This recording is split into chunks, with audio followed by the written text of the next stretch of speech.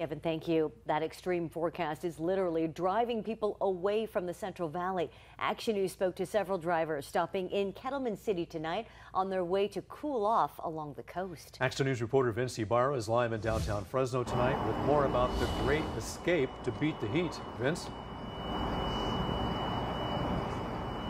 Well, Warren, experts are saying that Central California is not expected to be as busy because people are expected to leave as we get closer to those triple digit heat waves. And they have a piece of advice. The advice is to be patient with one another as the freeways are expected to be fuller than normal.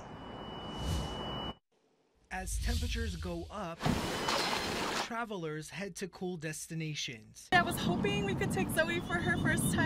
on the beach. We caught up with Alomar Siksik in Kettleman City Thursday night.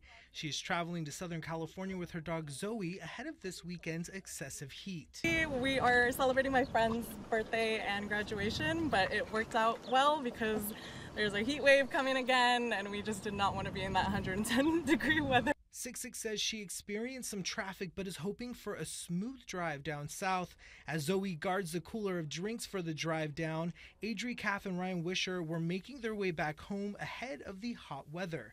The two say they don't plan to do much this weekend, especially after camping on the beach for the last week portable AC in our room and then the rural AC for our you know main house. That's so, right. Yeah, we keep it cranked in our room the whole entire time. Mm-hmm. Yeah. We do have a blow up pool in our 8 by 16 backyard at our apartment, and so you know we do what we can.